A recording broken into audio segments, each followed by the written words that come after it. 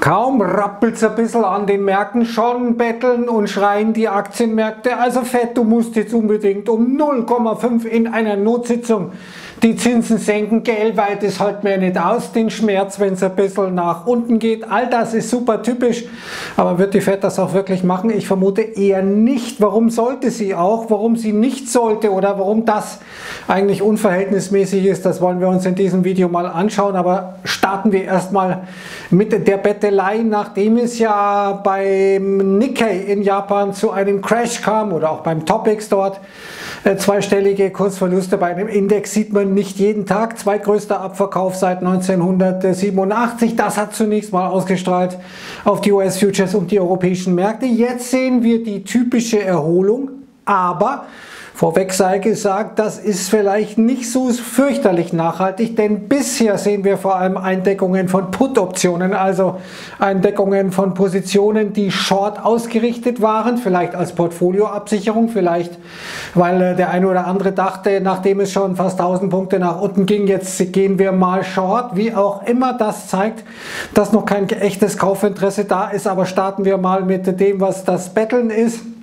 Erinnert mich so ein bisschen an quengelnde Kinder an der Supermarktkasse. Diejenigen von Ihnen, die Eltern sind, werden das kennen. Da wird dann hart verhandelt. Die Kinder nutzen die ähm, Genervtheit der Eltern aus, die endlich raus aus dem Supermarkt wollen und denken sich dann, okay, dann kaufe ich halt diese Süßigkeit, damit Ruhe ist. Und äh, so wollen es die Märkte auch etwa wie der Dauerbulle Jeremy Siegel, der immer von steigenden Aktienmärkten gesprochen hat und jetzt sagt er, also mindestens 75 Basispunkte bei jeder der Sitzungen bis zum Jahresende ist klar, Jeremy, machen wir, weil du es bist, gell? Gar keine Frage. Oder auch meiner zweitbester oder vielleicht auch der drittbeste Freund von mir, der Elon Musk, der sagt also, das war ein grober Fehler der Fed, die Zinsen nicht zu senken, kann man darüber diskutieren äh, ob die Fed im Juli hätte schon die Zinsen senken sollen. Aber es geht diesen Herrschaften nicht um das Fundamentale, sondern um die eigene Geldbörse, denn der Elöne weiß genau,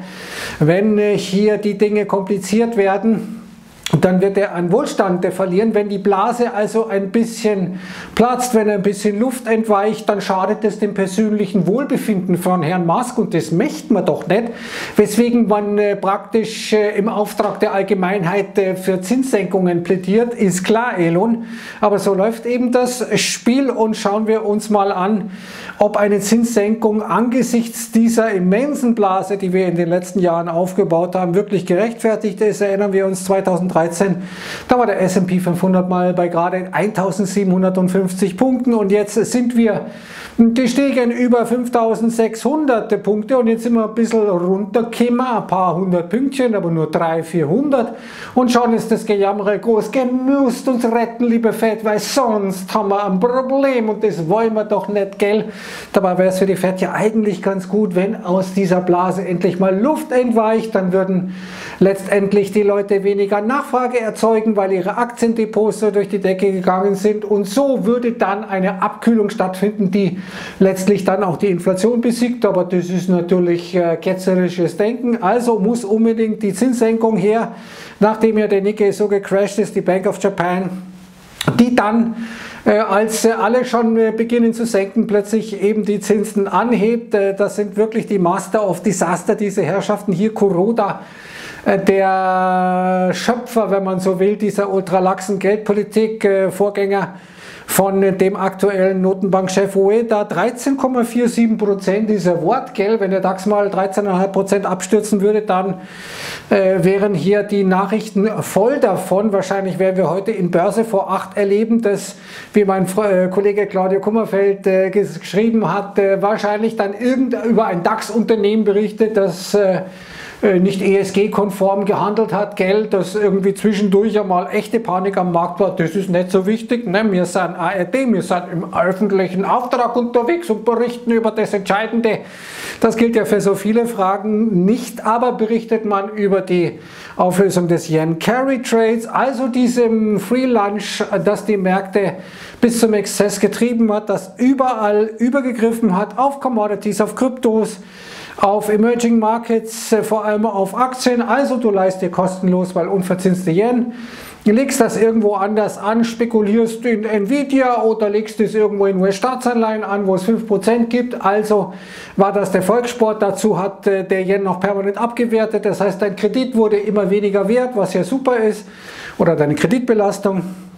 Aber das geht so lange gut, bis es nicht mehr gut geht und dann ging es nicht mehr gut und wir sollen sehen die Folgen dieser Enthebelung vom Nikkei über den mexikanischen Peso, über die Kryptos, aber Natürlich ist es nur ein kurzer Rücksetzer, meine Damen und Herren, kein Game Changer. Wobei, naja, ein bisschen KI-Euphorie ist rausgegangen, wie Ole Hansen hier von der Saxo Bank schreibt, nachdem erstaunlicherweise die großen US-Tech-Konzerne noch nicht so richtig mit KI Geld verdient äh, haben. Wer hätte das ahnen können?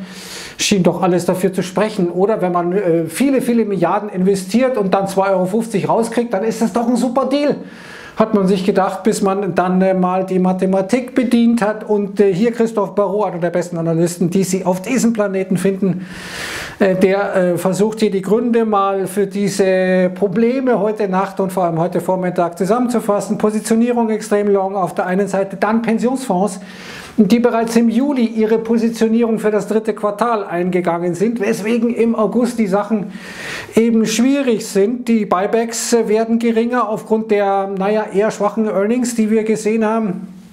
Und äh, All das noch mit äh, Kommentaren von der Fed wie heute Goolsby, der sagte, naja, also wir reagieren anders als die Märkte. Wir nehmen eine einzige Veröffentlichung wie etwa die Arbeitsmarktdaten vom letzten Freitag nicht so ernst, nicht, äh, nehmen wir nicht so schwer wie die Märkte, die ja da doch äh, stark äh, reagiert haben. Dann haben wir noch diese geopolitischen Spannungen, dazu gleich mehr. Dann dieser Arbeitsmarktbericht, die SAM Rule, die jetzt viel zitiert wird. Also diese eher linke Ökonomin Sam, die jetzt gezeigt hat, dass wenn die Arbeitslosenquote in einem bestimmten Zeitraum äh, um einen bestimmten Prozentanteil steigt, dann immer Recession. Okay, das ist jetzt in aller Munde, aber vor allem eben auch Nvidias äh, neuer Chip, der jetzt erst 2025 kommen soll. Warren Buffett, der die Hälfte seiner Apple-Aktien verkauft hat, äh, dazu Nvidia Dafür gibt es an der Wall Street 65 Kaufempfehlungen, eine Verkaufsempfehlungen eine Verkaufsempfehlung. Und Michael Guyot sagt, Nvidia ist eigentlich das Posterchild des Carry Trades, also sozusagen dieses Free Lunch über zum Beispiel den Yen und dann rein in Nvidia. Das äh, ist eine interessante These, aber die Märkte preisen jetzt eine 60% Wahrscheinlichkeit ein, dass die Fed in einer Sondersitzung die Zinsen senken wird und zwar nicht nur 0,25, sondern gleich um 0,5. Aber das wird, wie Albert Edwards hier schreibt, äh, wahrscheinlich die Turbulenzen nicht beenden. Das äh, zeigt ja dann, dass die Fed wahrscheinlich selber in großer Sorge ist. Das würden nach anfänglicher Euphorie dann wahrscheinlich auch die Aktienmärkte so interpretieren. Weiß man natürlich nie, aber so ist zumindest das Muster. Erinnern wir uns an Corona, als die Fed in einer Notsitzung die Zinsen deutlich gesenkt hat. Da ging es äh, zunächst nach oben, dann steil nach unten, weil man sich sagte, oh Gott, oh Gott. wenn die Fed das jetzt macht, dann muss es ja ganz schlimm stehen, dass die Fed nicht mehr weiß als wir alle. Äh, das hat sich bisher scheinbar noch nicht rumgesprochen. Aber ein Grund vor allem auch für die FED, die Zinsen nicht zu senken, das ist der heutige ISM-Index Service. Erinnern wir uns am Donnerstag, letzten Donnerstag, dieser ISM-Gewerbe ja so schwach. Da hat man sich gesagt, okay, das ist bitter. Dann die Arbeitsmarktdaten am Freitag. Oh, Rezession kommt.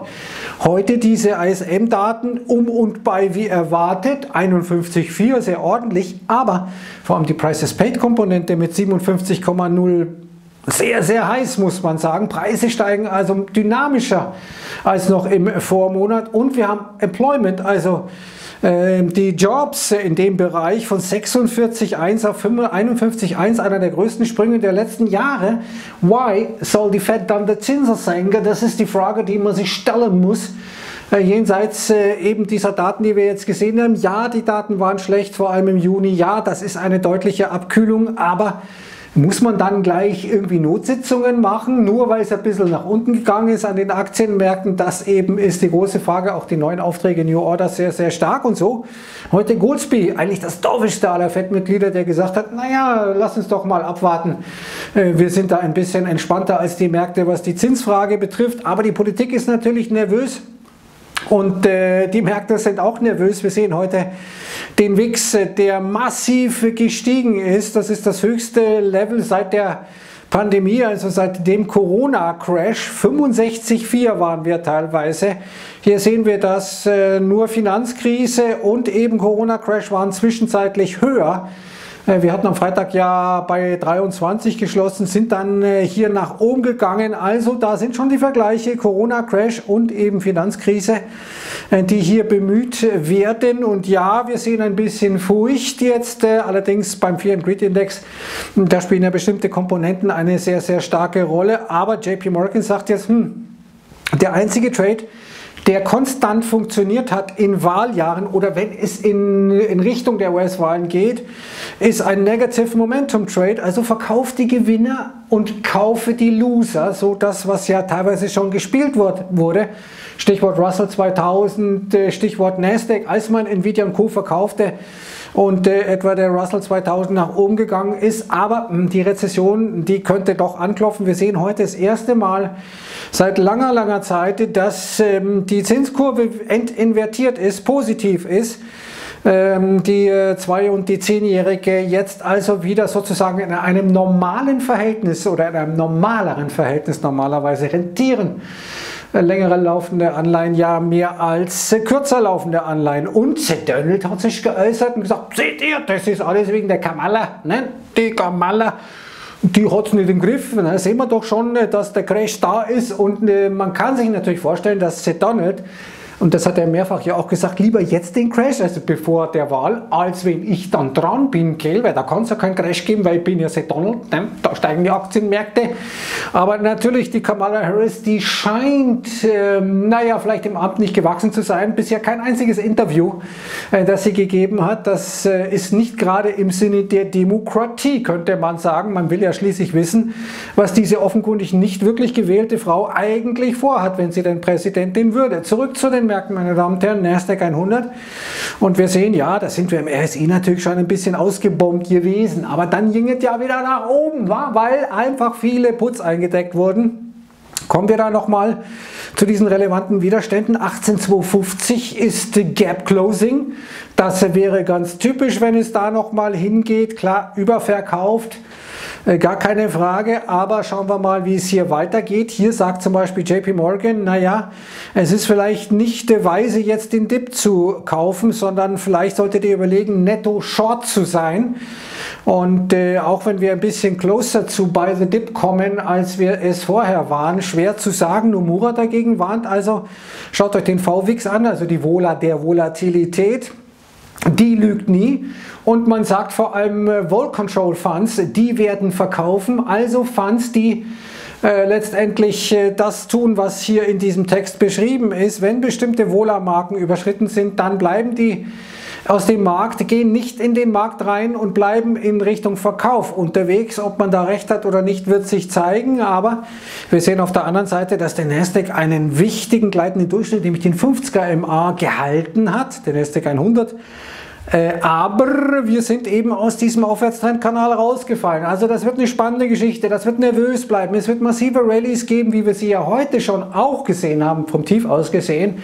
Dann wieder heftige Abverkäufe, das ist alles wohl drin in letzter Zeit. Aber eins ist klar, das äh, Entlassen von äh, Kolanovic von JP Morgan, diesem bärischen äh, Überbleibsel, das war praktisch das Top, das wir gesehen haben. Seitdem geht es bergab. Davor auch Mike Wilson. Wenn also die Bären sozusagen verdammt werden, dann ist das äh, Top nahe. Wie wird es weitergehen geopolitisch? Das könnte jetzt noch ein Faktor werden. Die Iraner haben eine sogenannte NOTAM-Message gegeben, also gewarnt, den Luftraum nicht äh, zu betreten zwischen äh, Iran und äh, Israel. Die Israelis äh, haben wohl die Message gegeben an den Iran, wenn hier Zivilisten zu Schaden kommen bei uns, dann werden wir eure Atomanlagen beschießen. Also das könnte auch noch eine ziemlich heiße Geschichte werden, äh, die sich da abspielt. Insgesamt zwei Empfehlungen, meine Damen und Herren. FED-Mitglied über Zinsen. Wir reagieren anders als die Märkte. Nochmal das, was Goldspiel gesagt hat. Wichtig zu wissen aus meiner Sicht. Gerne weiterempfehlen über Social Media. Und die zweite Empfehlung, meine Damen und Herren, was passiert eigentlich mit Gold? Zunächst nach oben gegangen, dann unter Druck gekommen sein. Why is that the case? Das ist die zweite Empfehlung. Gerne auch teilen über Social Media, diese Button, die Sie da oben sehen. Einfach draufklicken, an Freunde weiterleiten, würde mir freuen. Und jetzt sage ich erst einmal Servus, ciao.